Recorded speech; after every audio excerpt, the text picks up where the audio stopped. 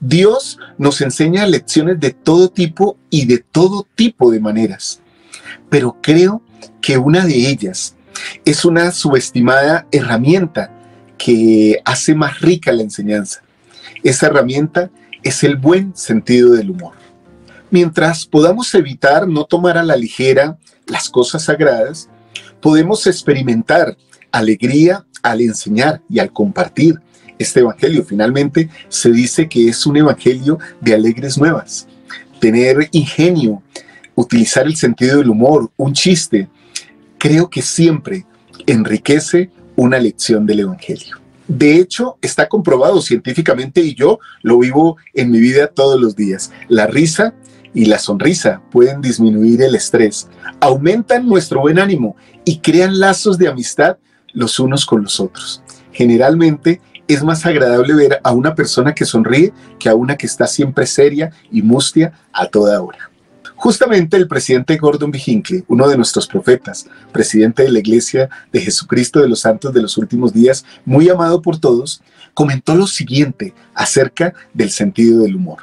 Necesitamos tener un poco de humor en nuestras vidas. Necesitamos tomar en serio lo que es serio, pero al mismo tiempo podemos aportar un toque de humor de vez en cuando.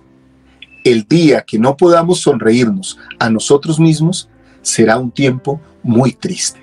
Y bueno, con esta introducción y con estas palabras del presidente Hinckley, podríamos entrarnos a estudiar este hermoso libro de Esther. Y es que posiblemente el libro de Esther es conocido como uno de esos libros en que la mujer es una heroína y que presenta batalla o que con su valor logra algo muy importante. Y efectivamente así lo es. Pero hay una parte subestimada en toda esta historia. Es lo gracioso que también la historia nos narra, si lo podemos tomar con algo de sentido del humor. Esta historia está llena de personajes con una ironía dramática y de lo absurdo. Tal vez para ayudarnos a entender más claramente como lectores quiénes son los buenos de la historia y quiénes son los malos. El centro de la liberación de los judíos en este libro se desarrolla en la celebración judía del Purim. En muchas comunidades judías se involucran los festivales, los disfraces, bebidas y lo más importante, el leer el pergamino de Esther. Puede llegar a ser una ocasión muy festiva y alegre. Los participantes borran cada declaración de un personaje que conocemos en el libro como Amán, y cada vez que este personaje habla, entonces suenan matracas y gritos.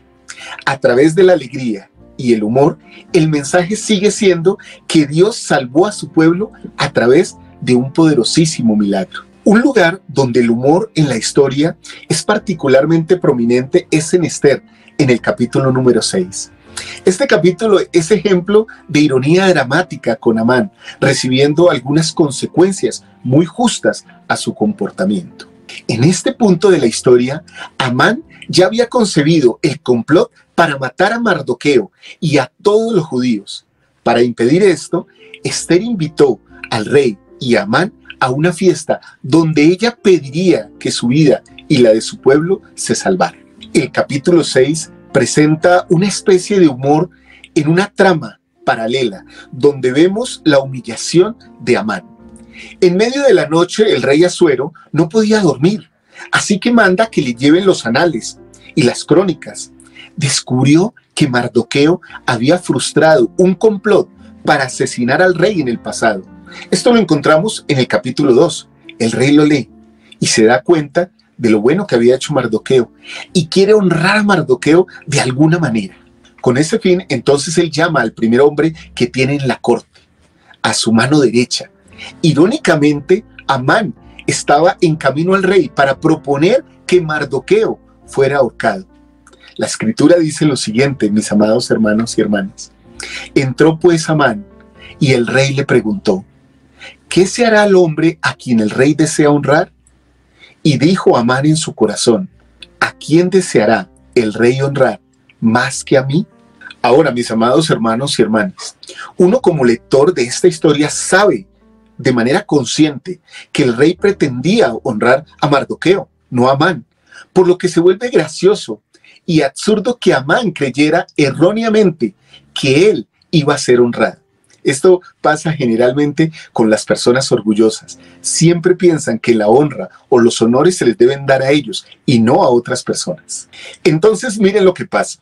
Amán pasa a describir una serie de cosas elaboradas que él quisiera para sí mismo. Ya que Amán se convirtió en prestigioso asesor del rey, la única forma de ser más honrado en sí es que él fuera elegido como rey. Por lo que declaró que la persona honrada debería usar la ropa del rey, montar el caballo del rey y llevar la corona que el rey usaba. Imagínense esto, ¿no? Todo esto él lo, quería y lo expresa porque está pensando que va a ser para él. Luego de anexar todos estos homenajes, invita también a que se haga una procesión encabezada por uno de los gobernantes del rey para homenajear a esta persona. Pero entonces aquí vemos lo irónico de la historia. En el instante siguiente de esos sueños tan elevados de Amán, esos mismos sueños lo llevan a una realidad y se despierta, se desvanecen esos sueños, cuando el rey pronunció el remate de esta escena satírica. Date prisa, toma la vestidura y el caballo, como tú has dicho, y hazlo así con el judío Mardoqueo. Amán, que procuraba destruir a Mardoqueo, en cambio recibe la orden de honrarlo.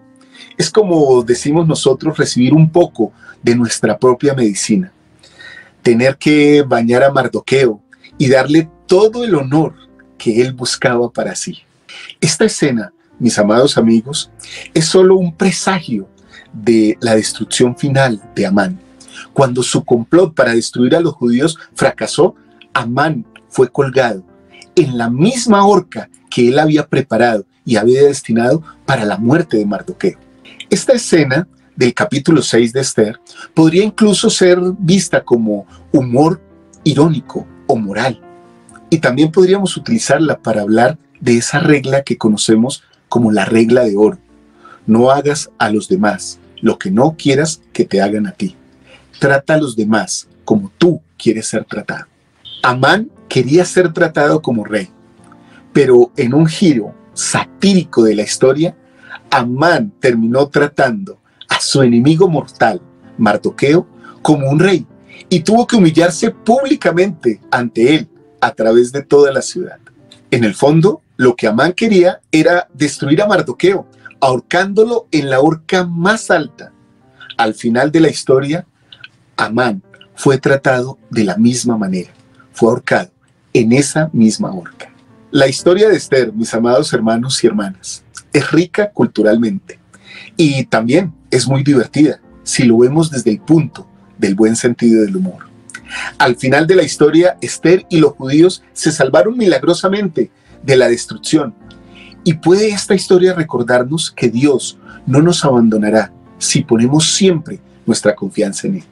Pero esta historia también puede recordarnos que estas lecciones no siempre tienen que ser solemnes. Pueden ser momentos de alegre celebración, así como lo hace el pueblo judío en la fiesta del Purim.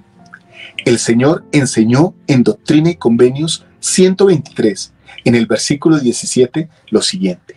Por tanto, muy queridos hermanos, hagamos con buen ánimo cuanta cosa esté a nuestro alcance, y entonces podremos permanecer tranquilos, con la más completa seguridad, para ver la salvación de Dios y que se revele su brazo.